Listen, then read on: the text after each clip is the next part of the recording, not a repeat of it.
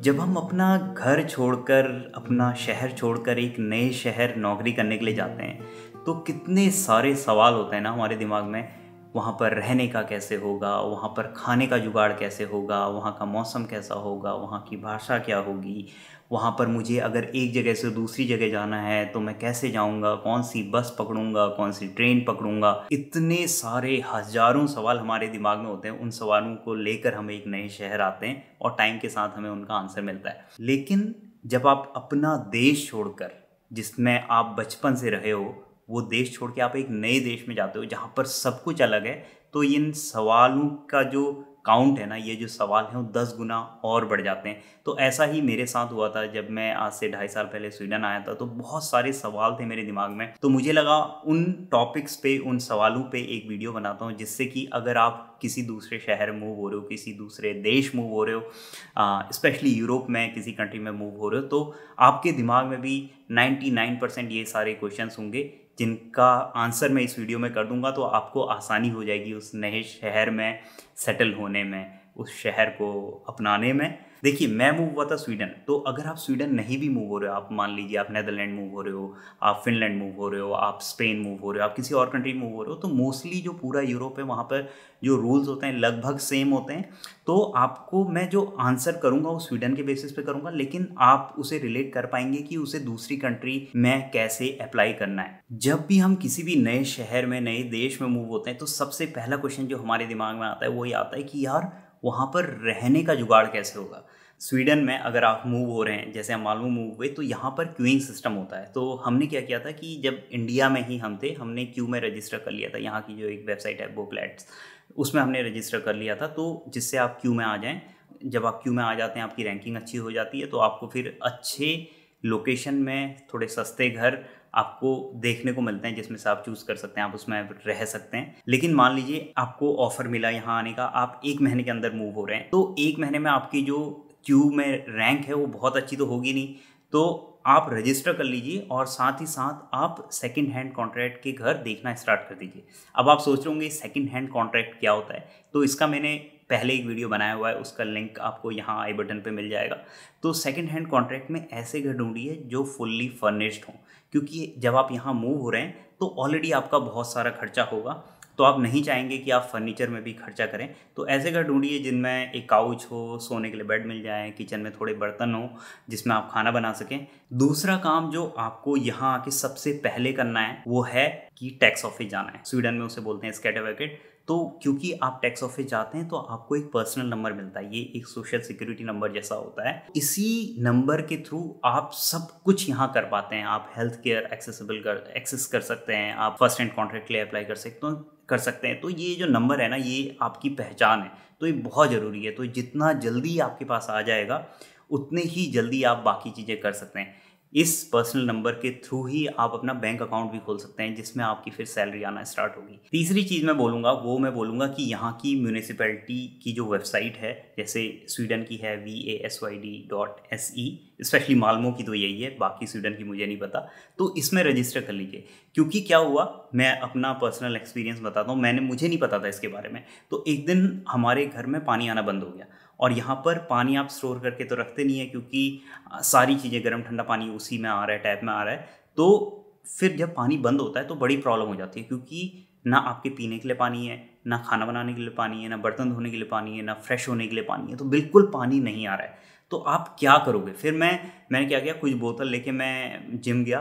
Gym के washroom से मैंने पानी की वो बोतलें भरी और फिर हम, मैं पीने का पानी लेके आया। तो ये इसलिए हुआ क्योंकि मैंने इस वेबसाइट में रजिस्टर नहीं किया था, जहाँ पर वो आपको पहले से नोटिफिकेशन भेज देते हैं, मेल भेज देते हैं कि इस दिन मेंटेनेंस चलेगी और इतने देर के लिए पानी नहीं आए तो इस वेबसाइट में जो भी आप कंट्री में मूव हो रहे हैं तो इस वेबसाइट के बारे में पता करिए कि क्या वेबसाइट है वहाँ की और उसमें रजिस्टर कर लीजिए। फोर्थ चीज़ जो आपको करनी है, वो अपना वॉट सेंट्रालन चेक करना है। और अगर आपको लग रहा है कि वो दूर है तो उसको चेंज करना है। अब आप सोच रहे होंगे सेंट्रालन क्या। है वार्ड सेंट्रालन वार्ड सेंट्रालन हेल्थ क्लिनिक है, हॉस्पिटल नहीं है। तो जब आपको पर्सनल नंबर मिलेगा, उस पर्सनल नंबर से आप यहाँ की हेल्थ केयर की वेबसाइट में लॉगिन करेंगे तो आपको पता चलेगा कि आपको कौन सा वार्ड सेंट्रालन असाइन हुआ है। अगर वो आपके घर से दूर है या फिर आपको लग रहा है कि वो उतना अच्छा नहीं है, उसकी रेटिंग उतनी अच्छी नहीं है तो आप किसी दूसरे नज़दीक वाले वार्ड सेंट्रालन में रजिस्टर कर सकते हैं। क्योंकि जब आप बीमार होते हैं, उसके बाद आप ये सारी चीज़ें करेंगे तो बहुत ज़्यादा इरीटेटिंग हो जाएगा। तो आप चाहेंगे कि जब आप बीमार हैं तो सीधे वार्ड सेंट्रालन जाएँ और अपना चेकअप कराएँ। फिफ्थ चीज़, पांचवी चीज़ जो मुझे लगता है मुझे बहुत पहले कर लेनी चाहिए थी, यहाँ आते ही कर लेनी चाहिए थी, वो है यहाँ की जो सिटी बाइक्स हैं, उनका सब्सक्रिप्शन ले लेना चाहिए था। क्योंकि क्या होता है, जब मैं यहाँ मूव हुआ तो हर महीने का मैं बस पास लेता था, जो बहुत महँगा होता है, जो I think six hundred crowns के आसपास होता है। तो मैं रोज़ उसी बस पास को यूज़ करके ऑफ़िस कम्यूट करता था। और यहाँ की सिटी बाइक्स हैं, जो हर जगह उनके स्टॉप्स हैं तो उनका जो साल का सब्सक्रिप्शन है वो 200 का है। तो मैं चार महीने तक मैंने 600 क्राउंस का बस पास लिया है, इतनी बेवकूफ़ी। जो मैं 200 का साल का सब्सक्रिप्शन बाइक्स का ले सकता था। और मैंने वो इसलिए नहीं लिया क्योंकि थोड़ा सा नए शहर में जाओ तो आपको डर लगता है ना क्योंकि आ, कैसे वहाँ पे साइकिल चलाएँगे रूल्स क्या होंगे? क्योंकि यहाँ पे साइकिल की एक अलग लेन है राइट साइड में साइकिल चलाना है साइकिल के सिग्नल हैं मुड़ते टाइम आपको हाथ देना है क्या करना है क्या नहीं करना है तो थोड़ा सा ना अंदर दुख दुख रहती है कि यार कुछ गलत ना कर दूँ या फिर आ, थोड़ा सा आप समझ रहे होंगे मेरी बात तो क्या होता है तो इसलिए मैंने वो बाइक सब्सक्रिप्शन कुछ महीने नहीं लिया फिर बाद में मैंने अपनी बाइक खरीदी उसके बाद वो सब्स उसके बाद मैंने सब्सक्रिप्शन लिया। अब आप सोचोगे कि जब मैंने अपनी बाइक ले ली, उसके बाद मैंने सब्सक्रिप्शन क्यों लिया? क्योंकि यहाँ पर क्या है कि बहुत जगह बाइक्स चोरी भी होती हैं। तो अगर आप, मान लीजिए, जो हमने पहले बात की, घर देखने की, अगर आप ऐसी जगह जा रहे हैं घर देखने जहाँ पर आपको पता नहीं आपकी बाइक सेफ़ है, नहीं है तो आप वो जो पब्लिक जो सब्सक्रिप्शन वाली बाइक है, वो यूज़ कर सकते हैं। तो कभी भी मेरे पास सब्सक्रिप्शन भी है अपनी बाइक भी है लेकिन कभी भी मैं ऐसी जगह जाता हूँ जहाँ पर मुझे पता है कि यार आ, मुझे पार्किंग का श्योर नहीं है कि बाइक सेफ़ रहेगी या नहीं रहेगी। वहाँ पर मैं पब्लिक जो बाइक है जो सब्सक्रिप्शन वाली बाइक वो यूज़ करता हूँ। तो आप ये सब्सक्रिप्शन शुरू में ही ले सकते हैं जिससे आप रोज़ ऑफ़िस या आसपास की जगह एक्सप्लोर कर सकते हैं। सिक्स चीज़ जो बहुत ही ज़रूरी है वो है गार्बेज सेग्रीगेशन जब हम यहाँ आए हमें पता तो था कि यहाँ पे गार्बेज सेग्रीगेशन होता है तुम सारा कूड़ा एक जगह नहीं डाल सकते तो बहुत टाइम तक मुझे बाहर डस्टबिन दिख रहे हैं। मुझे पता है कि यहाँ कूड़ा डालना है, लेकिन अब फ़ूड वेस्ट है तो फ़ूड वेस्ट आप किसमें डालोगे? पॉलीथीन में तो डालोगे नहीं। और, कैसे पता करोगे कि कैसे कूड़ा कहाँ फेंकना है? अब फिर मैं सुबह मार्केट गया, मैंने देखा कि यार, वहाँ पर क्या पता पॉलीथीन बायो हाँ डिग्रेडेबल पॉलीथीन मिलती हो, जिसमें फ़ूड वेस्ट रखें। या फिर क्या है सिस्टम मतलब अगर आप कागज़ फेंक रहे हो तो कागज़ क्या पॉलीथीन के अंदर डालोगे या कागज़ अलग से फेंकोगे? या फिर कैसे करोगे ये चीज़ें? तो बहुत सारा कन्फ्यूज़न था। तो शुरू के तीन चार दिन तो हमने जो फ़ूड वेस्ट है, वो फेंका ही नहीं, घर के अंदर रखा। फिर उसके बाद मैंने पास में कोई मुझे मिला बाहर बिल्डिंग के बाहर तो मैंने उससे पूछा। तो उसने मुझे बताया कि जो आपकी बिल्डिंग है, उसी के कहीं कॉमन एरिया में बहुत सारे ऐसे ब्राउन पेपर के एनवलप रखे होंगे। वो फ़ूड वेस्ट के एनवलप है। उसमें आपको फ़ूड आप उस कॉमन रूम में जाइए एक गट्ठा वो ब्राउन पेपर्स का पेपर बैग का एनवलप्स का लेके अपने घर में आ जाइए। डस्टबिन में उसे बिछाइए, उसमें फ़ूड वेस्ट डालिए और फिर नीचे गार्बेज रूम में आपका फ़ूड वेस्ट का अलग से डस्टबिन होगा, उसमें उसे रख दिए उसमें डाल दीजिए। तो ऐसे ही पेपर वेस्ट होता है। पेपर वेस्ट में जैसे कार्डबोर्ड है या फिर जो आपके अमेज़ॉन डिलीवरी का आ रहा है या फिर मिल्क कार्टन्स है योगर्ट के कार्टन्स हैं तो वो जो कार्टन वेस्ट है ना, वो पेपर वेस्ट में जाएगा। और जो अलग पेपर है, जैसे न्यूज़पेपर है, आपकी डायरीज़ हैं वो सारे एक दूसरे न्यूज़पेपर वाले वेस में जाएँगे। तो पेपर में भी दो कैटेगरीज हैं, फिर ग्लास है ग्लास कलर्ड ग्लास और ट्रांसपेरेंट ग्लास उसकी अलग है मेटल की अलग है बैटरीज अलग में जाएँगी।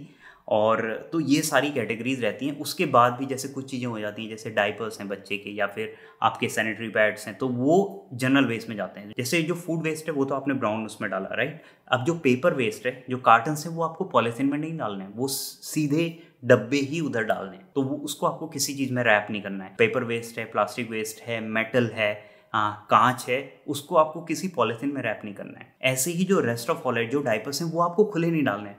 वो हमेशा आपको एक पॉलीथीन में रैप करके रेस्ट ऑफ़ ऑल वाले डस्टबिन में डालने हैं। जो सातवीं चीज़ है, वो ये है कि यहाँ पर जो कैंस आप लाएँगे, चाहे आपके कोल्ड ड्रिंक के कैंस हों या फिर सोडा के कैंस हों स्पार्कलिंग वाटर यहाँ बोलते हैं, यहाँ सोडा नहीं बोलते हैं। तो शुरू शुरू में मैं सोडा बोल रहा था तो लोग बड़े कन्फ्यूज़ हो जा रहे थे। तो स्पार्कलिंग वाटर के जो बॉटल्स आती हैं या फिर आप बियर पी रहे हो उसके कैन तो वो सब रिसाइकल होते हैं और उसके आपको पैसे मिलते हैं। जब आप बिल करोगे ना जैसे दस क्राउंस का कुछ एक बियर का कैन है तो प्लस वन उसमें लिखा होगा क्योंकि आप ग्यारह पे करोगे लेकिन जब आप उसको रिसाइकिल करोगे तो वो एक क्राउन आपको आ, वापस आ जाएगा। तो जो ये वेंडिंग मशीन सोचिए जहाँ पर आप रिसाइकिल करते हो तो कोई भी जो आ, सुपर स्टोर है जहाँ पे आपका ग्रॉसरी स्टोर है उनके बाहर या अंदर मशीन लगी होगी। आप किसी से भी पूछ लीजिए। आप वहाँ पर जाइए, ये सब कैन एक एक करके डालिए, वो स्कैन करेगा लास्ट में आपको एक रसीद मिल जाएगी। वो रसीद सिर्फ़ उसी सुपर स्टोर में आप यूज़ कर सकते हैं। ऐसा नहीं कि आपने यहाँ से रसीद लिए फिर किसी दूसरे सुपर स्टोर में गए, वो वहाँ काम करेगा।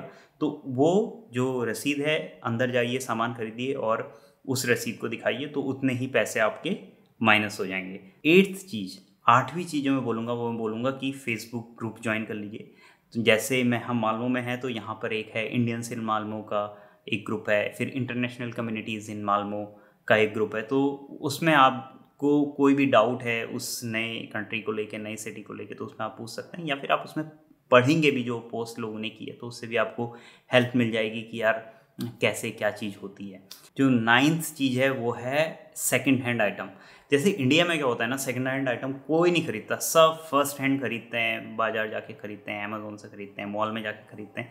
लेकिन यहाँ यहाँ हर कोई सेकंड हैंड आइटम खरीदता है और फेसबुक मार्केट प्लेस उसके लिए बहुत ही पॉपुलर जगह है। यहाँ पर क्या है कि आप कोई भी चीज़ अगर खरीद रहे हैं तो वो आप पहले फेसबुक मार्केट प्लेस में देखिए। अगर आपको ऐसा लग रहा है कि हाँ ये मुझे सही दाम में मिल रहा है कंडीशन इसकी सही है, फिर आप उसको बेझक ले सकते हैं क्योंकि यहाँ पर हर कोई यूज़ करता है और जो सेकंड हैंड आइटम्स हैं, उनकी कंडीशन बहुत ही अच्छी रहती है। कुछ ग्रुप फेसबुक में ऐसे भी होते हैं जो लोग अपना सामान फ्री में देते हैं। तो जैसे फ्री और स्टफ़ मालमो का एक ग्रुप है हमारे वहाँ तो वहाँ पर जैसे कोई शहर छोड़ के जा रहा है और उसके पास वो सामान रह गया तो वो उसमें डाल देगा। या फिर जैसे हम भी उसमें डाल देते हैं, जैसे काशू के कुछ कपड़े हैं, जो हम सोचते हैं, अब क्या ही बेचो इन्हें दोबारा, क्या ये लिस्ट करो तो फ्री और स्टफ़ में डाल दो। तो जैसे काशू थोड़ी बड़ी हुई तो उसके सारे कपड़े, सारे खिलौने, सब सारे जो छोटे डाइपर्स थे, वो सब हमने एक उसमें लिस्ट करें तो कोई जिसको चाहिए होंगे वो आया, पूरा बैग उसने उठाया, वो ले गया। तो ये भी चीज़ें आप चेक कर सकते हो, जिससे आपके थोड़े पैसे बच जाएँगे। और इन्वायरमेंट को भी फ़ायदा है, क्योंकि आप रिसाइकिल कर रहे हो रीयूज़ कर रहे हो। टेंथ चीज़ दसवीं चीज़ जो है वो मेरे ख्याल से आ, मेरे स्वीडन को लेके थोड़ी स्पेसिफिक हो सकती है। वो है हाँ जैसे हम स्वीडन के साउथ स्वीडन में रहते हैं राइट इस एरिया को बोलते हैं स्कोने तो स्कोने ट्रैफिकन यहाँ का जो पब्लिक ट्रांसपोर्ट है उसको बोलते हैं स्कोने ट्रैफिकन तो उसका जो टिकट आप लेते हैं ना वो आप लैंड कर सकते हैं। आ, अगर आप वैसे हमेशा बाइक से जाते हैं लेकिन एक दिन आप सोच रहे हैं कि पब्लिक ट्रांसपोर्ट यूज़ करें और आपको पता है कि आपका एक दोस्त रोज़ पब्लिक ट्रांसपोर्ट यूज़ करता है तो उससे आप पूछ सकते हैं, यार ये एक घंटे के लिए मुझे टिकट दे देगा क्या? ग्यारहवीं चीज़ एलेवंथ चीज़ जो है, वो है ग्रॉसरी तो जैसे इंडिया में क्या है ना एमआरपी उस आइटम में लिखी रहती है और हर जगह उसका प्राइस सेम होगा। तो यहाँ पर ऐसा नहीं है, यहाँ पर कोई भी जो एमआरपी है, वो आइटम में नहीं लिखी रहती है, वो उस शेल्फ में लिखी रहती है और उसका प्राइस हर जगह अलग होगा। मैंने एक पहले वीडियो बनाया था कि कौन सा ग्रॉसरी स्टोर सबसे सस्ता है, उसमें मैंने काफ़ी मेहनत की थी। एक ही दिन मैं चार ग्रॉसरी स्टोर से आलू लेके आया था, दूध लेके आया था, प्याज लेके आया था, ये सारी चीज़ें लेके आया था और फिर मैंने कंपेयर किया था कौन सा सस्ता है। तो ये आप देख लीजिए कि आपके एरिया में कौन कौन से ग्रॉसरी स्टोर हैं, कौन सा वाला सस्ता है और फिर उसी से आप, अपना सामान ला सकते हैं। लेकिन मैंने ये भी देखा है कि किसी एरिया का विली बहुत सस्ता होगा और किसी एरिया का विली बहुत महँगा होगा। तो उस एरिया में भी डिपेंड करता है कि वो स्टोर सस्ता है या महँगा है। बारहवीं चीज़, अगर आप इंडिया से आ रहे हैं तो ऑब्वियसली आप इंडियन खाने को मिस करेंगे और इंडियन मसालों को मिस करेंगे। तो आप ये चेक कर लीजिए कि आपके आसपास एशियन शॉप कौन सी है, उसमें आपको इंडियन मसाले मिल जाएँगे तो वहाँ से जाके वो सारी चीज़ें खरीद सकते हैं। थर्टीन चीज़ ये है कि आप इंडियन ड्राइविंग लाइसेंस से स्वीडन में एक साल तक ड्राइव कर सकते हैं। और ये जो रूल है, वो सिर्फ़ स्वीडन में है। नेदरलैंड में वो रूल अलग है फिनलैंड में वो रूल अलग है। तो आप जिस भी कंट्री मूव हो रहे हैं, आप देख सकते हैं कि इंडियन ड्राइविंग लाइसेंस से आप वहाँ चला सकते हैं या नहीं चला सकते हैं, कितने टाइम तक चला सकते हैं, या फिर आप इंडियन ड्राइविंग लाइसेंस को एक्सचेंज करके उस कंट्री का ड्राइविंग लाइसेंस ले सकते हैं। फोर्टीन चीज़, चौदहवीं चीज़ जो है वो ये है कि ये जैसे स्वीडन में एक ऐप है बोका डायरेक्ट, जिससे आप सब कुछ बुक कर सकते हैं। तो जब मैं शुरू में यहाँ पे आया था तो यहाँ पर क्या है कि हेयर कट के लिए भी आपको अपॉइंटमेंट लेना पड़ता है। तो आप उस वेबसाइट से hair cut massage appointment book कर सकते हैं। फिफ्टीन चीज़, पंद्रहवीं चीज़ जो मैं रिकमेंड करूँगा, वो ये करूँगा कि हमेशा जो फ़ोन में रियल फील टेम्परेचर देखिए। हमारी आदत क्या होती है? हमारी आदत होती है, अरे आज तो बाहर धूप आ रही है, मौसम सही है, चलो पतली सी जैकेट में निकल जाते हैं। लेकिन यहाँ पर ऐसा नहीं है। यहाँ बिल्कुल ही अलग है। मतलब धूप आ रही होगी, लेकिन बाहर माइनस टेन टेम्परेचर होगा। तो हमेशा देखिए कि रियल फ़ील्ड टेम्परेचर क्या है आपके आपके फ़ोन में, और ये भी होगा कि टेम्परेचर ज़ीरो होगा तो आपको लगेगा या फिर टेम्परेचर फाइव होगा, आपको लगेगा, चलो ठीक है, इतनी ठंड नहीं है लेकिन उस दिन हवा बहुत ठंडी होगी, जिससे वो टेम्परेचर माइनस फाइव होगा रियल फील उसका। तो हमेशा रियल फील देखिए एक्चुअल टेम्परेचर मत देखिए, और रियल फील टेम्परेचर के अकॉर्डिंग ही ड्रेसअप होइए। तो ये थी पंद्रह ऐसी चीज़ें जो मेरे ख्याल से आपको अगर पहले से पता है एक कंट्री में मूव होने से आपकी काफ़ी ज़्यादा हेल्प हो जाएगी, आपके लिए काफ़ी कन्वीनियंट हो जाएँगी कुछ चीज़ें। इतना ही था इस वीडियो में। I hope you like the video जल्दी मिलते हैं दूसरे वीडियो में। टिल देन बाय बाय ख्याल रखिए अपना।